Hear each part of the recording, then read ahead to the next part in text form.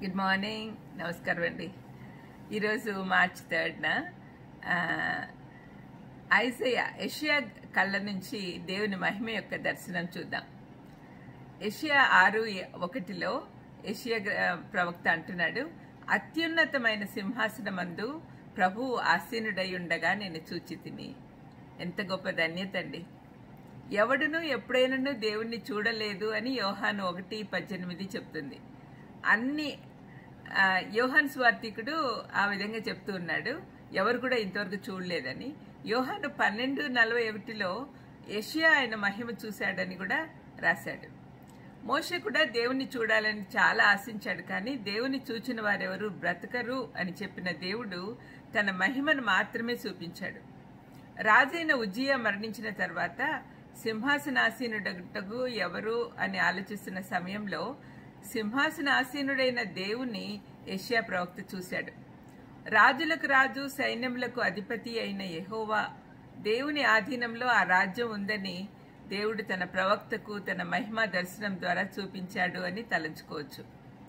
ఈ లోక పరిస్థితులు ఎంత భయం గొల్పేవిగా ప్రతికూ ప్రతికూలంగా ఉన్నా కూడా అన్ని దేవుని ఆధిపత్యం కిందనే ఉన్నాయని దేవుడు చెప్తున్నట్టుగా ఉంది. ఇది ప్రతి విశ్వాసి నమ్మితే వారికి అవసరమైన ఆదరణ కలుగుతుంది. ఇప్పుడు చూడండి మన పరిస్థితులు ఎంత విషమంగా ఉన్నాయి. ఈ కరోనా వైరస్ ఒకవైపు తర్వాత ఇంకా ఆర్థిక పరిస్థితులన్నీ బాగలేవు చాలా మంది కష్టపడుతున్నారు. ఇంకా ఎన్నెన్నో సమస్యలు.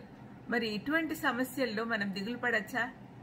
దిగులు పడకూడదండి. విశ్వాసులు ఎప్పుడు కూడా ఏమని అనుకోవాలంటే ప్రతిదీ ప్రతి పరిస్థితి దేవుని ఆధీనంలో ఉన్నప్పుడు మనం ఎందుకు భయపడాలి?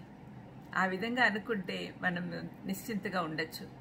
ఆయన మన మన పరిస్థితులన్నీ ఆయనను అంగీకరిస్తే ఆయన ప్రభు అని అంగీకరిస్తే ఆయన ఆధీనంలో ఉంటాయి.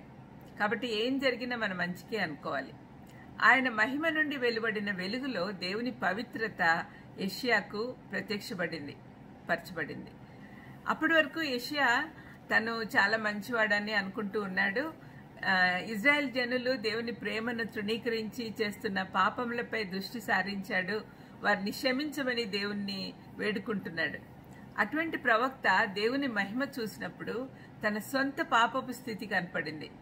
ఆ ప్రత్యక్షతలో ప్రవక్తకు మూడు రకాల దర్శనాలు కనపడ్డాయి. అవేంటో చూద్దాం. మొదటిది పరలోక దర్శనం. పైన దేవుడు తన సింహాసనంపై ఆసీనుడై ఉండగా శరాపులు ఆయన పరిశుద్ధతను ఆరాధించడం చూశాడు. ఆయన పరిశుద్ధుడు పరిశుద్ధుడు అని చెప్పి అప్పుడు తెలిసింది. రెండవది అంతర్దర్శనం.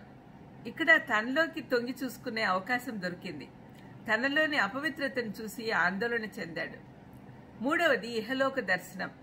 ఇజ్రాయెల్ ప్ర- ప్రజల పాపపు స్థితి వారికి రాబోయే వినాశనం గురించి ఆయనకు తెలియజేయబడింది. ఆత్మీయంగా ఎదుగుతున్న కొద్దీ మనకు త్రివిధ దర్శనం కావాలి. ప్రార్థన చేసుకుందామా?